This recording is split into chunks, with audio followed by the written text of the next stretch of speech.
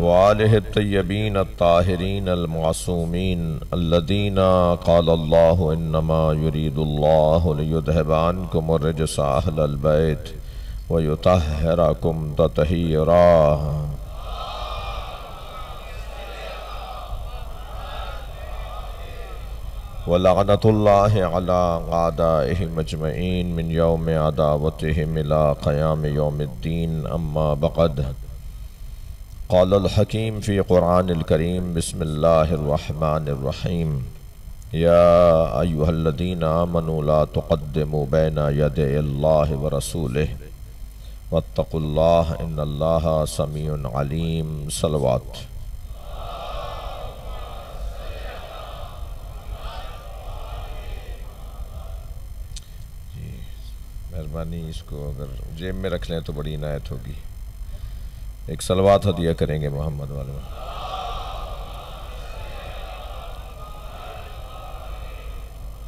एक और बेहतर सलवात नबी।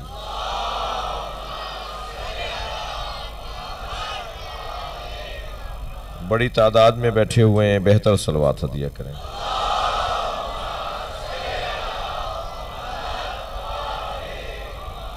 सूरह मुबारक हुजरात, कुरान मजीद का मुख्तसर और बहुत ही जाम सूरा है। इसकी अट्ठारह आयतें हैं और ये मदीने में नाजिल हुआ है और इस सूरे की छब्बीसवें पारे में है। इस सूरे के आगाज़ में पाँच आयतें नबी की नामूस, नबी के एहतराम, नबी के अदब से मुतल्लक़ है। अल्लाह उम्मत से नबी का अदब चाहता है। और ये जो अदब है, लकाना खैर लहुम, ये अदब खुद उम्मत के फ़ायदे में है। यानी अगर हम अपने नबी का एहतराम करेंगे तो इसका फ़ायदा हमारी तरफ़ पलटेगा। इसका फ़ायदा नबी को नहीं होगा। ये जो नबी मुकर्रम ने अजर रिसालत अहल बैत की मवद्दत की सूरत में मांगा है, ये उनके फ़ायदे की शय नहीं है। ये उम्मत के मफाद की शय है। उम्मत का भला इसी में है कि नबी का एहतराम करें।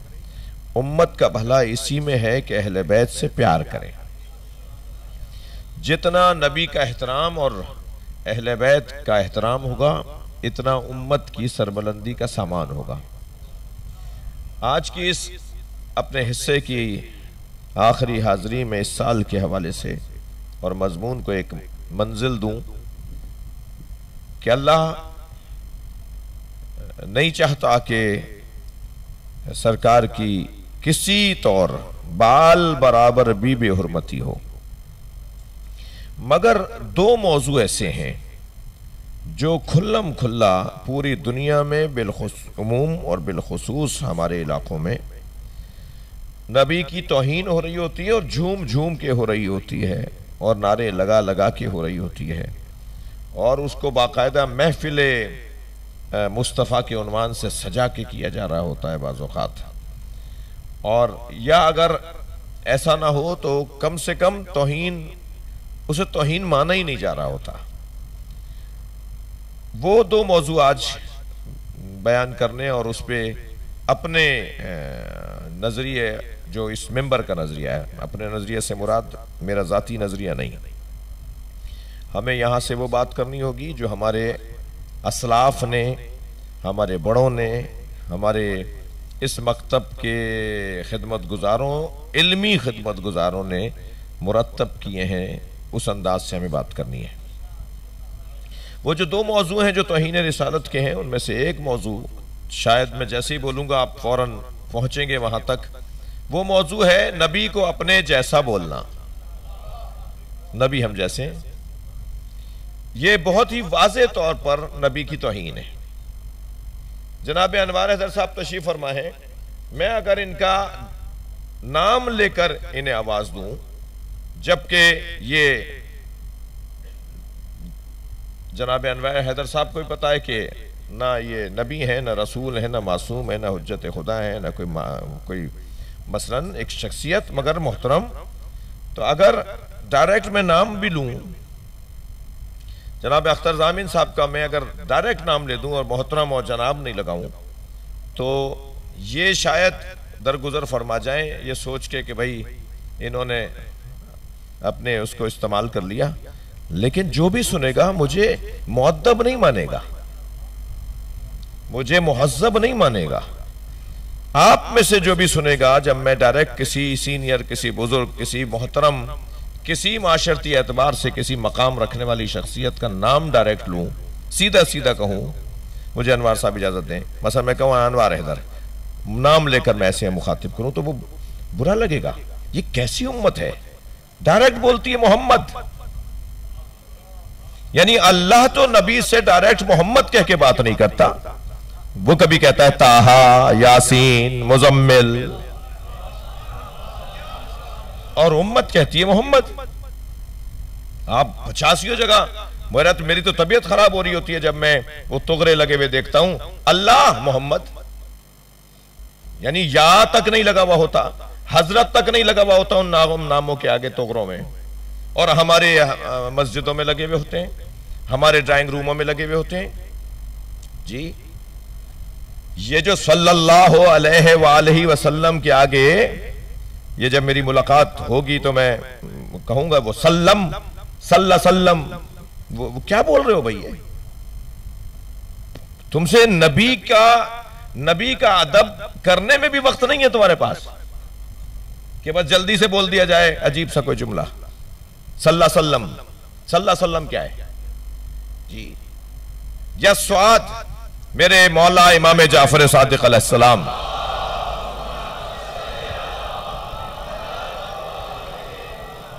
से जब किसी ने नबी का नाम लेते, लिखते हुए स्वाद लगाया, स्वाद जो हम सभी लगा रहे हैं। ज़्यादातर हम लगा रहे हैं नबी का नाम लिखकर आगे स्वाद लगा देते हैं। क्या है स्वाद? सल्लल्लाहु अलैहि वसल्लम का पहला हर्फ स्वाद उम्मत इतनी चाहती है कि नबी के लिए पूरा जुमला लिखने का भी टाइम नहीं है उम्मत के पास। इतने कलमा पढ़ने वाले और मुरीद और मवाली और मौलाई और चाहने वाले हैं कि नबी के नाम के आगे सल्लल्लाहु अलैहि वसल्लम भी लिखने को तैयार नहीं है। जल्दी में है ना? वक्त नहीं है। मेरे मासूम इमाम ने इसे तोहीन तस्वुर किया। हज़रत फरमाया, ये नबी मुकर्रम की तोहीन है। ये स्वाद क्या है? आप चले जाइए। इस वादी में, जिस वादी में, जो भी जितना अदब करेगा, खफा ना हो ना हो मुझसे आप। जो जितना नबी का अदब करेगा, इतना उसका सर बुलंद होता चला जाएगा। भाई, अगर आमादा है एक जुमला लेने के लिए, कभी गौर फरमाया, अली अली क्यों है? अली अली इसलिए है कि नबी का अदब करता है। इतना बड़ा पढ़ा लिखा वजूद, ये कहता हुआ नज़र आए कि ये मेरा इल्म लोहाब मुस्तफ़ा है।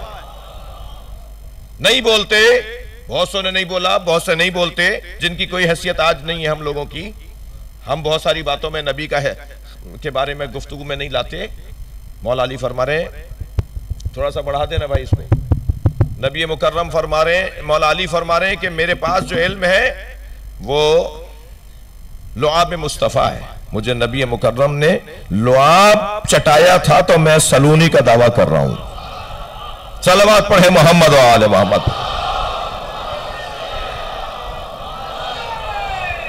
सुबह अल्लाह एक अदब, एक बेअदबी तसल्ली दीजिए अंदर बाहर जो जो जहाँ बैठा है कि मुझसे आप खफा नहीं है, ये गुफ्तु को मैं कर रहा हूँ। एक बेअदबी जो सरकार के हवाले से इस वक्त बहुत आम है, राइज है, नबी को अपने जैसा बोलना। ये बेअदबी है। ये बदतमीजी है। नबी हम जैसे हैं। इतना बड़ा मजमा यहाँ बैठा है जिन्हें अल्लाह ने एक जैसा बनाया वही एक जैसे नहीं है। अल्लाह ने किसी को किसी जैसा नहीं बनाया। फिर जिनके सदक़े में कायनात बनी हो, अल्लाह अकबर, मेरा लुआब दहन तो मुझ ही को कराहत देता है। नबी का लुआब दहन कड़वे कुएँ को मीठा बनाता है। क्या मुकाबला है हमारा उनके साथ? क्यों बोलते हो ये बात कि वो हम जैसे हैं? जी, ये कहीं से अच्छा इसकी अगर हिस्ट्री भी निकाले ना कि कहाँ से आई ये बीमारी, कि नबी हम जैसे हैं तो ये बहुत पुरानी नहीं है। ये बहुत पुरानी नहीं है। इब्ने तैमिया ने यह नज़रिया देना शुरू किया। अब्दुल वहाब ने उसे प्रचार किया। और पैसे के इस्तेमाल से हर मुल्क में इसके प्रचारी इसके मुरवज इसके मुबल्लिगों को वसाइल फराहम किए गए। आप जरा साजिशों की का पनपना जरा देखिए और साजिशों की, की के रूट जरा देखिए कि कहाँ से साजिशें शुरू होती हैं। जी एक डकेत कबीले ने पूरे मुल्क के ऊपर कब्जा किया। उसके कब्जे शुदा मुल्क को जवाब फराहम करने के लिए जिस मुफ्ती से फतवे का सहारा लिया, उसने कहा, मैं तुम्हारी हुकूमत को जायज़ करार दूँगा। तुम मेरे फतवों को जायज़ करार दो। तुम मेरे मेरे दीन पहचाने को जायज़ करार दो, यानी उसको सपोर्ट करो। और ऐसे ही हुआ। और एक ने फतवे देना शुरू किए। क्या कुछ नहीं लिखा उसने अहले बैत की तोहन में? क्या कुछ नहीं लिखा उसने नबी की तोहीन में? बाकायदा मसला मौलाए कायनात के बारे में कहता है कि ये जो सा, जो ये जो हदीस बयान की जाती है मन अहब्बा अलियन फ़कत अहब्बनी व मन अहब्बनी फ़कत अहब्बल्लाह जिसने अली से मोहब्बत की उसने मुझ मुस्तफ़ा से की और जिसने मुझसे की उसने अल्लाह से की। कहना ये हदीस ज़यीफ़ है। क्यों ज़यीफ़ है? कहना है कहा अली से मोहब्बत ही कोई नहीं करता था। कहता अली से तो बख्स बख्स रखते थे अक्सर साहबा। ये वो लिख रहा है भाई मैं नहीं लिख रहा।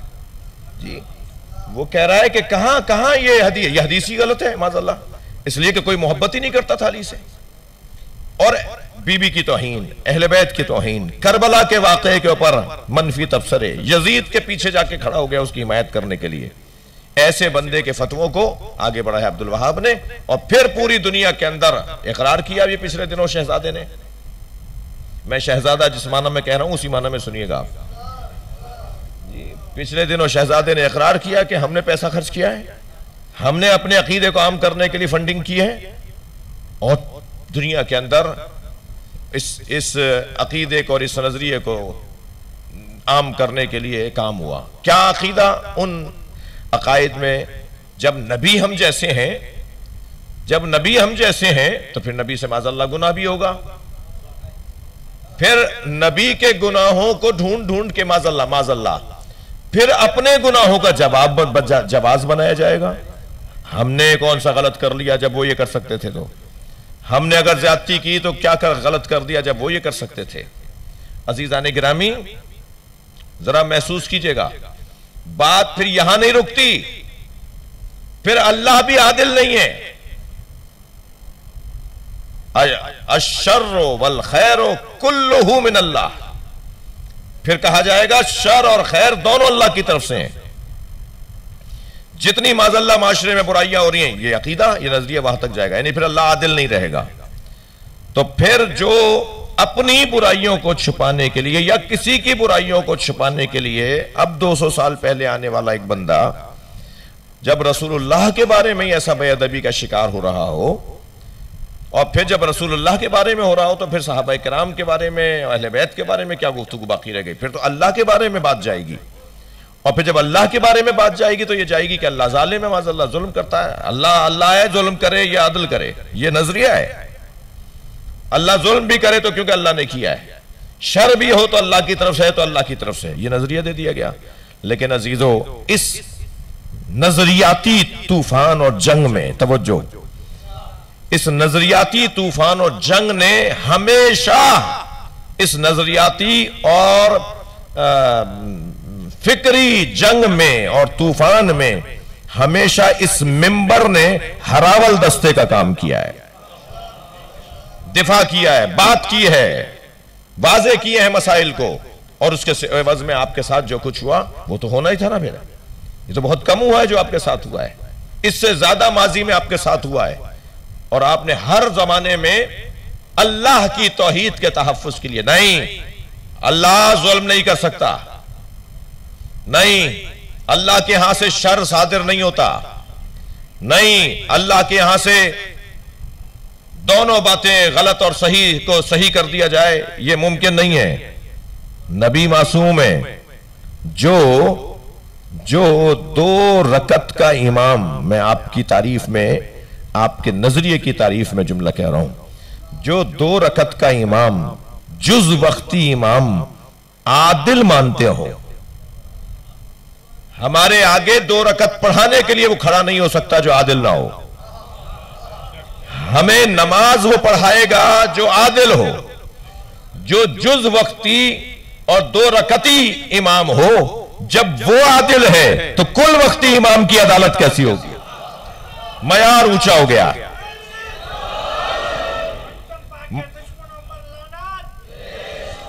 मयार ऊँचा कर दिया इस मकतब ने और इस मेंबर ने, इस मेहराब ने और इस खाने ने, मयार ऊँचा कर दिया।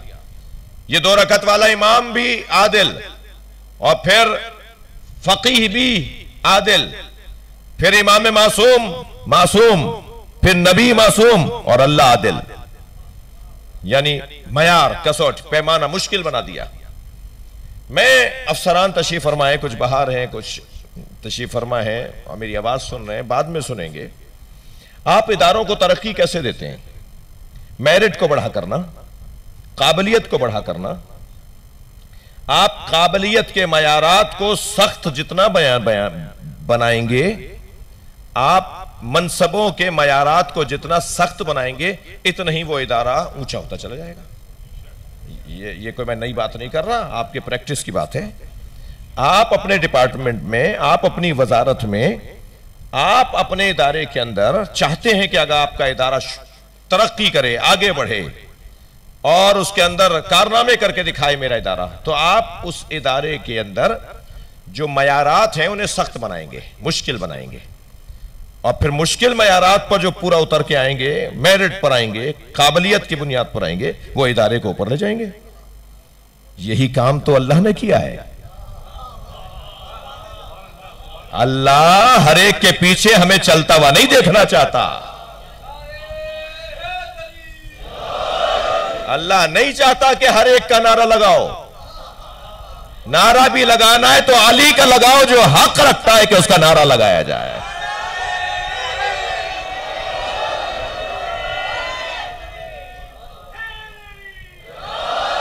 सलावात पढ़ेंगे मोहम्मद आल मोहम्मद पर अल्लाह करे मेरी बात मुंतकिल हुई हो। अल्लाह ने इस कायनात के निज़ाम को इतना मयारी बनाया है। आप जरा देखिए इनकी इबादत, इनका तकवा, इनकी शजात इनका इल्म। का इन जैसा कोई नहीं है। जिस जैसा कोई ना हो उस वहदहुल्ला शरीक ने इन्हें अपने निज़ाम का इमाम बनाया है। जो खुद जिस जैसा, वो जिस जैसा कोई और नहीं है, उस ला शरीक ने इन्हें बंदों में ला शरीक रखा है। बंदों में अली जैसा कोई है? अगर मौला अली की तरह किसी ने देखा, देखी, में बोलना भी शुरू कर दिया, मुश्किल हो जाएगी। मैं ज़मीन के रस्तों से ज़्यादा आसमान के रस्ते जानता हूँ, बोल के दिखाओ। अली कह रहे हैं कि मैं ज़मीन के रस्तों से ज़्यादा आसमान के रस्ते जानता हूँ। तेज धार पानी को आते हुए देख के फरमाया कि अगर जमाना मुझे मोहलत देता तो मैं इस पानी से नूर को ईजाद करता। जी। अली तो अली अपने जमाने के लिए तो नहीं थे। अली तो हर जमाने के लिए यानी वो कौन सा जमाना था जिसमें अल्लाह की मदद, अल्लाह की तरफ़ से मदद करने के लिए रूहुल कुदस ना आया रूहुल कुदस अल्लाह नहीं है, जबरील भी नहीं है। वह ना हो बे रूहुल कुदस। हमने नबियों की रूहुल कुदस के ज़रिए से मदद की है। रूहुल कुदस सब मलकिन, जिबरील मलकुन। रूहुल कुदस मलक नहीं है, जिबरील मलक है तो ये जिबरील नहीं है, रूहुल कुदस। मदद अल्लाह ने की है रूहुल कुदस के ज़रिए, यानी रूहुल कुदस अल्लाह नहीं है। गर्दा गर्दन हिलाइए, बात जा रही है तो।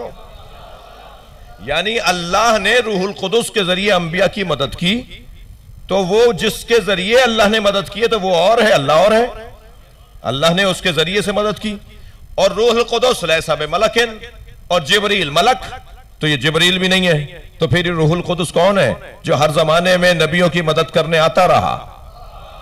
अब अब लकब कर्रार समझ में आएगा। कर्रार उसे कहते हैं जो तकरार से आता रहा हो।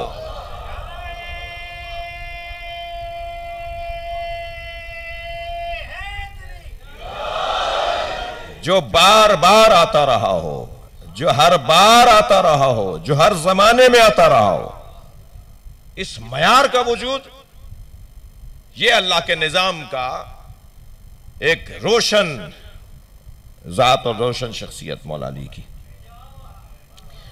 तो नबी मुकर्रम को अपने जैसा मानना, ये अपने जैसे के अकीदे का प्रचार करना, शायद ही इससे बड़ी कोई खयानत है।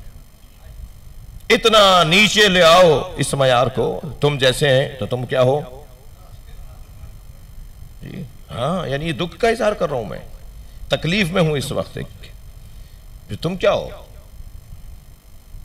एक ये तोहीन जो मुसलसल हो रही है, मैं अपने मजमून पर हूँ भाई।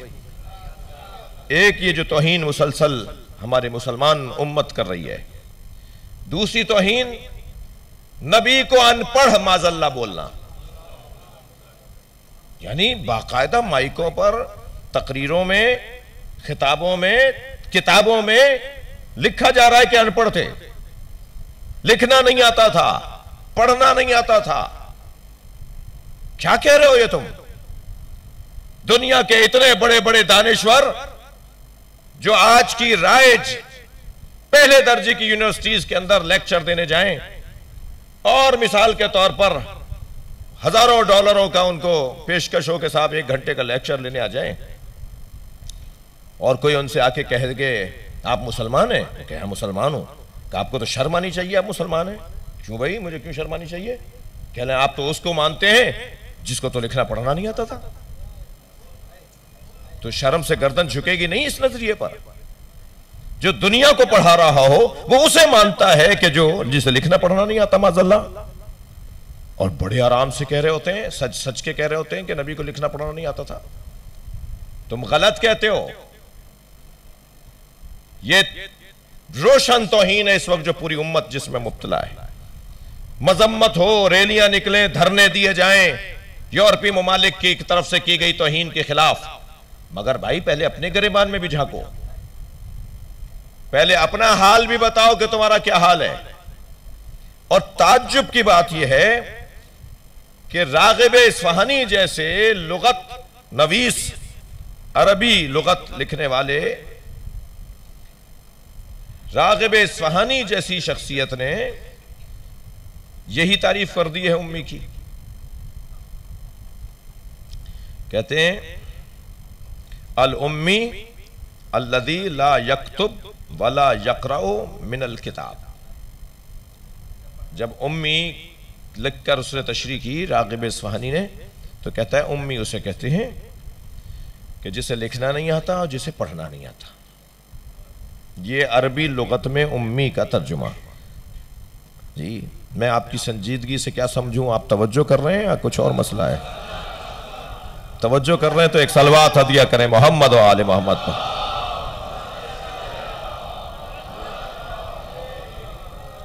ये जो उन्वान है, इसको मैं थोड़ा सा पाँच आठ मिनट आपके लूँगा। और ये मजमून मेरा आज मुकम्मल हो कि ये जो तारीफ़ है कि लम यकतुब वलम यकरा नबी को ना पढ़ना आता था, ना लिखना आता था, ये इंतहाई नाकाबिल कबूल तारीफ़ है। उम्मी का मतलब उम्मी का मतलब ये नहीं है। उम्मी का मतलब क्या है? तवज्जो। पहले तो मेरा, मैं एक हदीस हदिया करूँ आपको। मेरे इमाम इमाम जाफ़र सादिक सलाम से।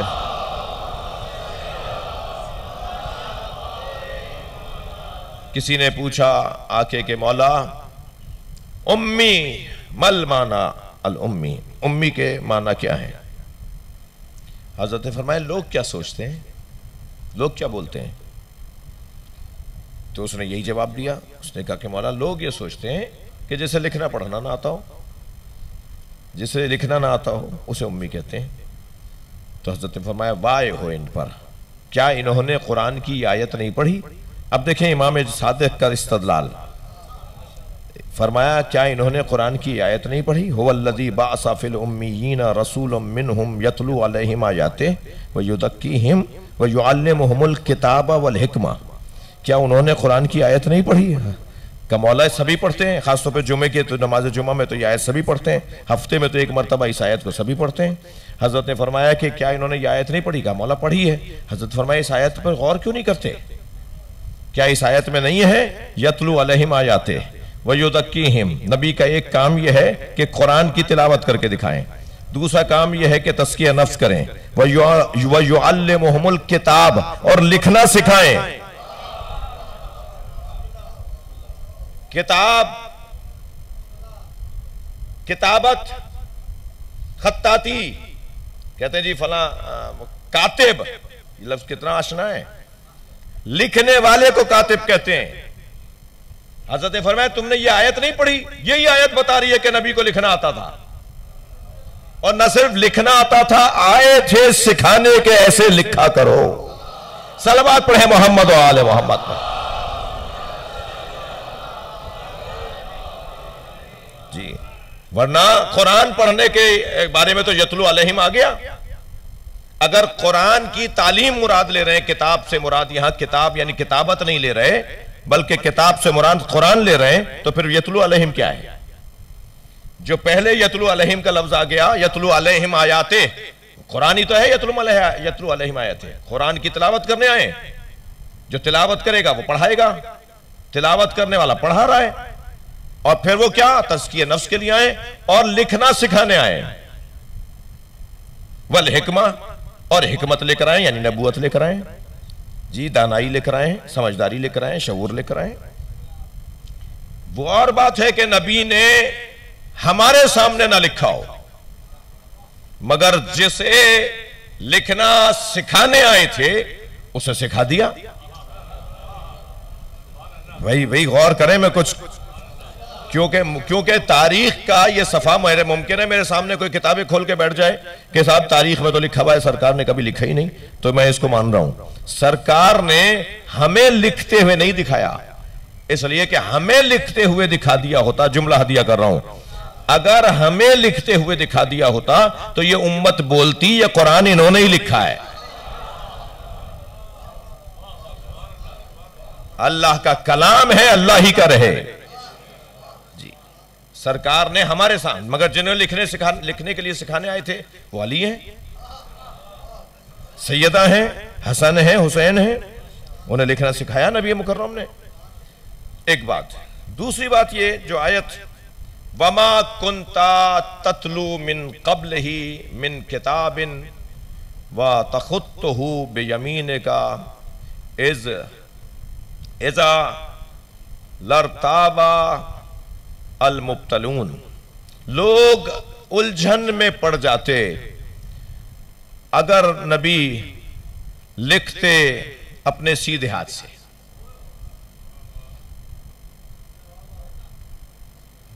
तवज्जो चाहूँगा इस आयत पर। नबी के लिखने के हवाले से सीधे हाथ की कैद क्यों लगाई है? जी। पहली बात तो ये कि माँ कुंता से आयत शुरू हो रही है। मुमकिन है आप में से बाज इस मेरे खिताब को वो तसल्ली से सुने तो ज़्यादा लुत्फ आएगा आपको। मगर मैं आज ऐसा भी नहीं करूँगा कि इतनी जल्दी गुजर जाऊँ कि बात भी मेरी मुकम्मल ना हो। माँ कुंता आप थे ही नहीं जो सीधे हाथ से लिखना सिखाते। आप थे ही नहीं। जब आप आए हैं, आपने सिखा दिया। जहाँ जहाँ माँ कुंता कजिया सालिबा कजिया सालिबा, मनफी जुमला है। माँ कुंता तदरीम अल किताब वल ईमान। मेरे नबी, आप जानते ही नहीं थे कि ईमान क्या है और किताब क्या है। इसकी तर्जुमा नहीं होगा उसका। माँ कुंता, आप जानते ही नहीं थे। माँ कुंता, आप जानते ही नहीं थे कि मल किताब वाल ईमान के किताब क्या है और ईमान क्या है। तो कह रहे हैं कि एक जमाना था जो नबी के पास इल्म नहीं था। नबी पैदाइशी तौर पे अल्लाह के यहाँ से इल्म लेकर नहीं आए। इस आयत को दलील बनाते हैं। हम इसी आयत को दलील बनाते हैं कि नबी जब से हैं आले में जो इसी आयत से दलील बना रहे हैं, कैसे हम बना रहे हैं इसे? हम दलील इस अंदाज से बना रहे हैं कि माँ कुंता नाफिया जुमला है, सालेबा जुमला है। तर्जुमा यह नहीं होगा कि आपको नहीं पता था कि ईमान क्या है और किताब क्या है। बल्कि तर्जुमा वही होगा जो आप उस हदीस में करते हैं, कुन तो कंजन मखफिया, मैं छुपा हुआ खजाना था। मैंने चाहा कि पहचाना जाऊँ तो ए मोहम्मद, मैंने तुम्हें बना दिया। कुन तो कुन तो का, माँ कुन तो कुंतो का तर्जुमा था का करेंगे? तो अब यहाँ भी वही तर्जुमा करें। आप थे ही नहीं। जो आप पढ़ाते, जब से आप हैं, पढ़ा रहे और नबी से पहले कौन था? ना आसमान, ना ज़मीन, ना चाँद, ना सूरज। तो सरकार दो जहाँ के बारे में माँ कुंता माँ कुंता की जितनी आयतें हैं, वो सब इस बात पर रहनुमा है कि आपसे पहले कोई वजूद है जिसे अल्लाह कहा जाता है। आपसे पहले, आपके अलावा कोई और नहीं है। तो नबी मुकर्रम का थोड़ा संगीन हो गई बहस, मगर आप आप भी बिस बिस। मुझे तवज्जो से सुन रहे हैं तो इससे मुझे हौसला मिल रहा है। असल बहस ये है,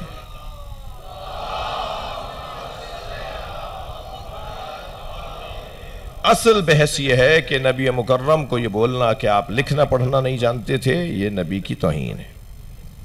असल बहस यह है कि उन्हें अपने जैसा बोला जाए यह नबी की तोहन है। जब तक उम्मत इन दो तोहनों से बाहर नहीं आएगी। मेरी एक तकरीर से तो बाहर नहीं आएगी। इसलिए एक बड़ी बड़ी इमारतें बना ली हैं इन्हीं दो बातों पर। ऐसे नहीं छोड़ेंगे, ये नज़रिया ये मजीद और जलील करवाएँगे अभी मुसलमानों को। जरा सलवात पढ़ ले मोहम्मद आलमा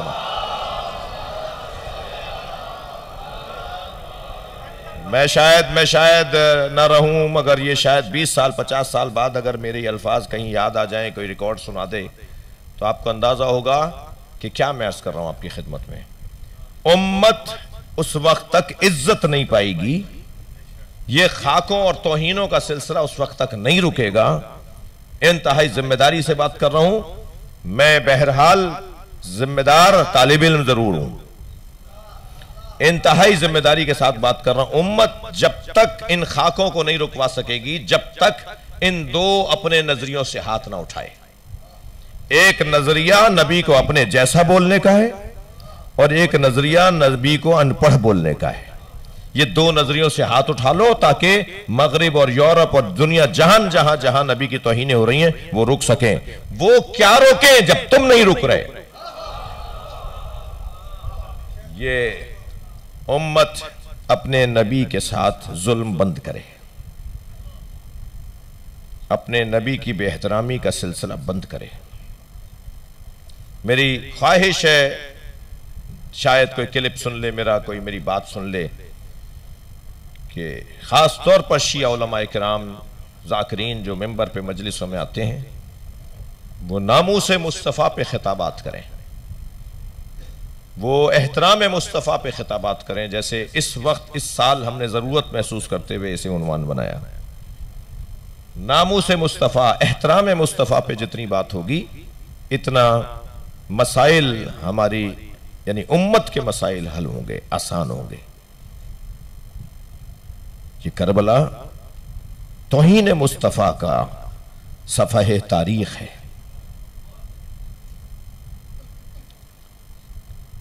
ये बेहतरामी है सरकार की, जिसे करबला के अंदर यजीदी जुल्म कहा जाता है। छोड़ दीजिए फजूल, ये बातें यजीद के बारे में वो ये कहते हैं कि जी, उसे पता नहीं था और फला, ये बातें छोड़ दीजिए। हर जिल्लत और नाकाम सियासत के बाद सियासतदान यही कहता है कि मेरा इसमें कोई हाथ नहीं है। जब सियासत नाकाम हो जाती है तो दुनिया का हर सियासतदान यही बोलता है, ये कोई पहली दफ़ा नहीं सुन रहे आप, और ना ही आखिरी दफ़ा सुनेंगे। हर नाकाम सियासतदान कहता है, मेरा इसमें हाथ नहीं था। खुद इसके बेटे ने क्या बोला? वो बात सही बात होगी। यजीद के बेटे मुआविया इब्न यजीद ने। दादा के नाम पे पोते का नाम था।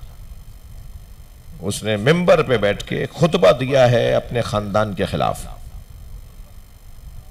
कि जो तख्त है ना जिस पर मुझे बैठने का तुम कह रहे हो, ये तुम जानो और ये तख्त जाने, किसी को भी दे दो ये। मैं उस तख्त पे नहीं बैठूँगा। जिस तख्त पर अहल बैत का खून हो। जिस तख्त के सामने हुसैन का कटा हुआ सर लाया गया अपने बाप के खिलाफ तकरीर की और तख्त ताज छोड़कर चला गया और रोता रहा छह महीने तक। और छह महीने के बाद उसकी रहलत हो गई। जवान था, मगर रो रो के दुनिया से चला गया। अल्लाह का निज़ाम भी तो अल्लाह का है। वो कैसे फिर अपने मामला को, अपने निज़ाम को बनाएगा, बढ़ाएगा, वो अल्लाह जानता है। हमें तो पता भी नहीं चलता कि अब क्या होगा। मगर फिर एक मरतबा एक चीज़ सामने आती है, जिस तरफ़ जहन गया ही नहीं होता। कोई नहीं सोच रहा था उस वक्त में कि यजीद का बेटा आकर ये करेगा। खास तकबर था, खास गुरूर था, खास अंदाज के रवैये थे। ऐसा लगता था जैसे दुनिया बस अब यहीं खत्म हो जाएगी और इसी के ऊपर दुनिया खत्म हो गई है। इससे बड़ा कोई दुनिया में आदमी नहीं है। मगर घोड़े की रकाब में पैर फंसा और उस घोड़े ने शाम के सहरा में बोटी बोटी पूरे सहरा में इसकी तकसीम कर दी।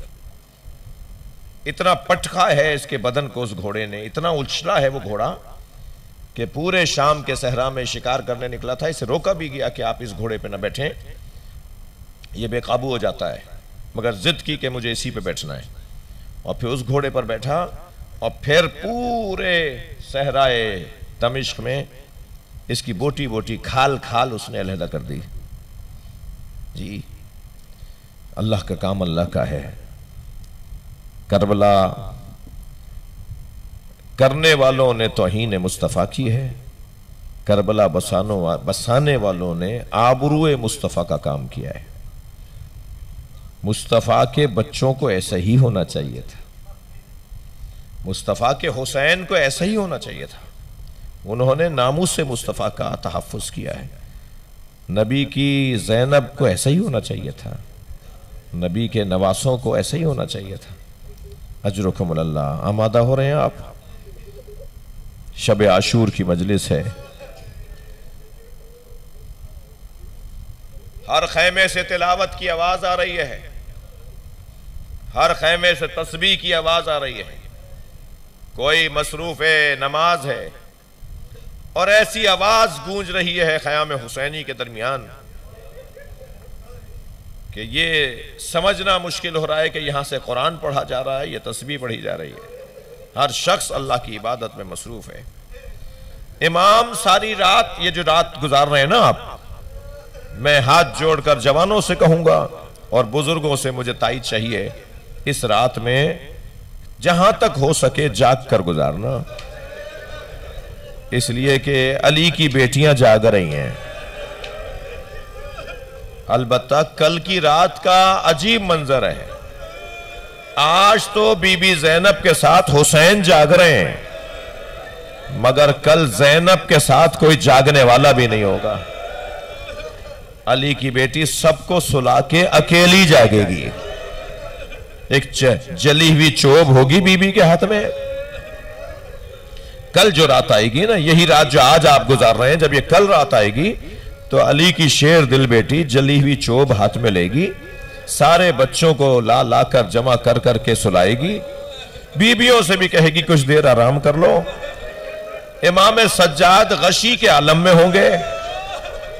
और अली की तनहा बेटी कभी दाएँ जाएगी, कभी बाएँ जाएगी। एक अजीब मंजर कल की रात में, आधी रात गुजरी, कल की रात जो आएगी कल। आधी रात गुजरी तो एक घोड़ सवार दौड़ता हुआ आने लगा। पहले तो दूर से इशारा किया, चराग लेकर, कि वो रुक जाए। फिर कुछ और आगे जाके आवाज़ दी कि, खबरदार, अपना रुख बदलो। इस तरफ़ नहीं आओ। जब वो सवार रुका नहीं तो करीब जाके कहा, मैं अली की बेटी हूँ। जब वो सवार रुका नहीं तो उसके घोड़े की लगाम को पकड़ लिया। मैं तुझसे बार बार कहती हूँ कि यहाँ बीबियाँ नबीजादियाँ हैं। तू हमारी तरफ़ क्यों आ रहा है? तो जैसे ही जलाल की कैफियत में लगाम पकड़ी ना तो उस सवार ने नकाब हटाई। अब जो नकाब हटी तो जैनब ने अपने बाबा अली को बैठे देखा। अजरकम अल्लाह अजरकम अल्लाह तो बेटियाँ जब बाप से मिलती हैं ना तो कैफियत ही कुछ और होती है। और बेटी भी जैनब जैसी बेटी, और बाबा भी अली जैसा बाबा। जब जनाबे जैनब ने अपने सामने अपने बाबा को खड़े देखा तो फिर आपने वो मरसिया सुना है। कि जैनब ने बैन किया है कि बाबा, मेरा भाई मारा गया। बाबा, आज के दिन में क्या क्या गुजर गई हम पर? मगर अली की बेटी का वो इम्तहान था। उस वक्त अगर अली मदद करने आते तो इम्तहान में मदद नहीं की जाती। इम्तहान और आजमाइश में मदद नहीं की जाती। तालब इल्म सारे साल उस्ताद से पूछता रहे, बहुत अच्छा तालब इल्म शुमार होगा। लेकिन जब पेपर उसके हाथ में आ जाए तो वो उस्ताद से पूछेगा तो वो अच्छा शागिर्द नहीं है। करबला हुसैन के इम्तहान की जगह है। यहाँ अली मदद नहीं करेंगे। जैनब के इम्तहान की जगह है। यहाँ नबी मदद नहीं करेंगे। ये बच्चे इम्तहान दे रहे हैं। फिर मेरे मौला ने फरमाया, जैनब, कुछ देर सो जाओ, अली पहरा देगा। अजर हुक्म अल्लाह।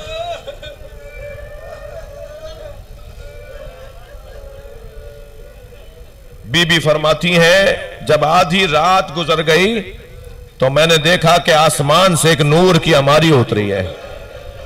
और उस नूर की अमारी से कुछ बीबियाँ निकली हैं। और वो बीबियाँ सर पे खाक उड़ाती हुई हुसैन के लाशे पे गए।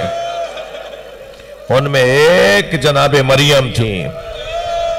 उनमें एक जनाबे सारा और हाजरा थी। उनमें एक हज़रत खदीजा थी।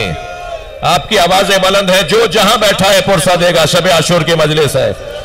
उनमें एक फातिमा जहरा, हुसैन की माँ जहरा। सारी रात ये बीबियाँ कल आने वाली रात। शाम गरीबा के बाद, अजर कमल अल्लाह, जो कल रात आएगी, सारी रात ये बीबियाँ हुसैन के जनाजे पर बैठी रही हैं। हुसैन के जनाजे का तवाफ करती रही, पुरसा देती रही, रोती रही। इमाम सज्जाद ने एक सजदे में रात काटी है।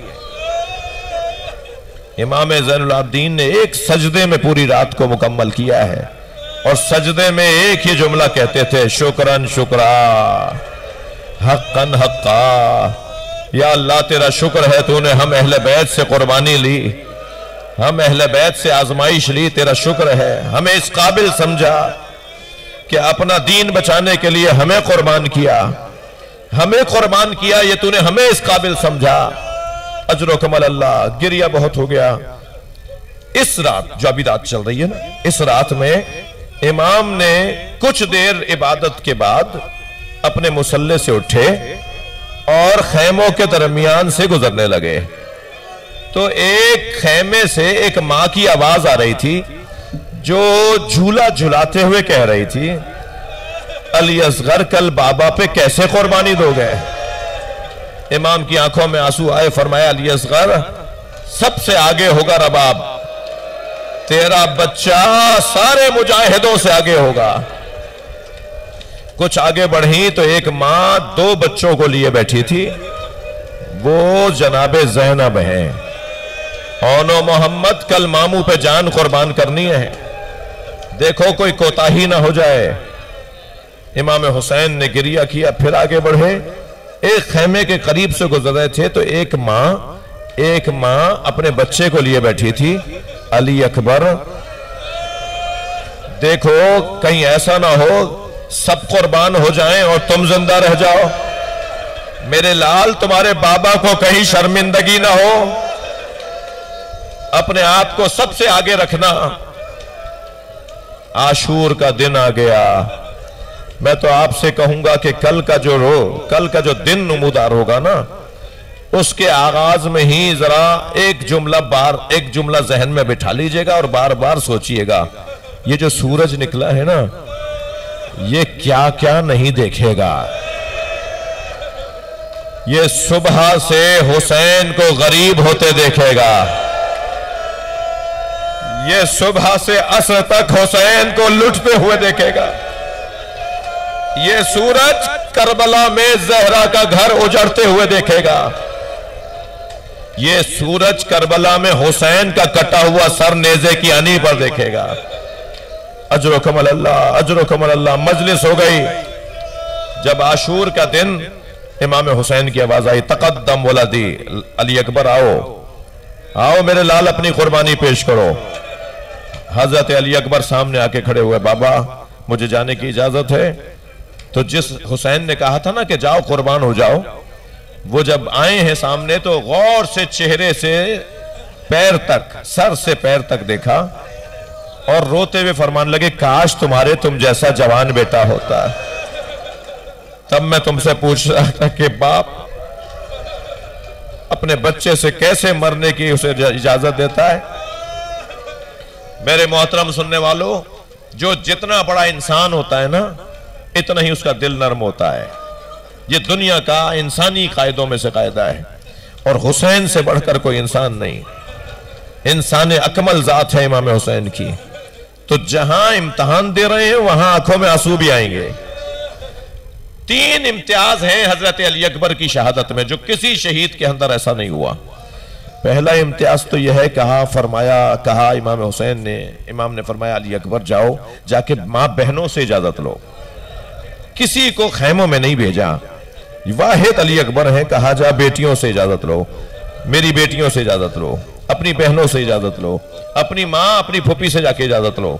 हज़रत अली अकबर खैमों के करीब गए और आवाज़ दी वालेकुम या जैनब, या उम्मा लैला, या उम्मा रबाब या जारियत फिजा या सकीना। और ये जुमला कहकर कहा, हाज सलाम सलाम आखिर। यह अली अकबर का आखिरी सलाम है। हर खैमे से बीबियों के रोने की आवाज़ बुलंद हुई। एक बड़े खैमे में हज़रत अली अकबर को ले गई। कोई हाथ पकड़कर बात कर रहा है। कोई शाने पे हाथ रखकर बात कर रहा है। कोई पेशानी का बोसा देकर बात कर रहा है।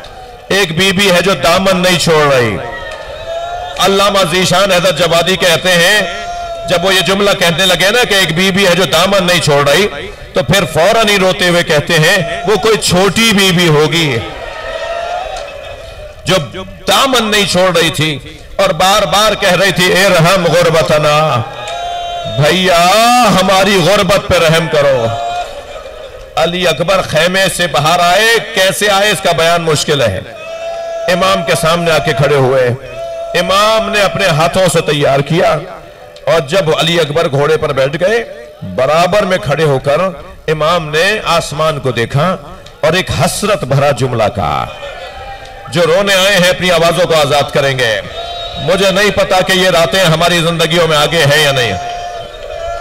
एक हसरत भरा जुमला कहा अल्लाह मशहद अलाम फ़कत बरजा गुलाम मन तशब्बहा बेरसूलिक, खलकन व खुलकन व मंतका। या अल्लाह, तुझे गवाह बना रहा हूँ। क्या हसरत भरा जुमला है? या अल्लाह, तुझे गवाह बना रहा हूँ। अब मैं उसे भेज रहा हूँ, जो तेरे रसूल का मुशाबे है। अली अकबर रवाना हुए। रोने वालों रोने वालों में जो जवान है, अल्लाह इनकी जवानियों को सालिम रखे। जो बुज़ुर्ग हैं, उन्हें सेहत और सलामती अता फरमाए। जब अली अकबर का घोड़ा बढ़ा है ना आगे, सुनेंगे? हज़रत अली अकबर ने महसूस किया जैसे कोई पीछे दौड़ता हुआ आ रहा है। हज़रत अली अकबर को महसूस हुआ जैसे कोई पीछे दौड़ता हुआ आ रहा है। अब जो मुड़कर देखा, इमाम हुसैन दौड़ते हुए आ रहे हैं। और एक जुमला कह रहे हैं, महलन, महला, या बुनैया ए मेरे लाल आहिस्ता, उतर आए उतर आए घोड़े से। बाबा से कहा बाबा आपने तो मुझे रुख्सत दे दी थी।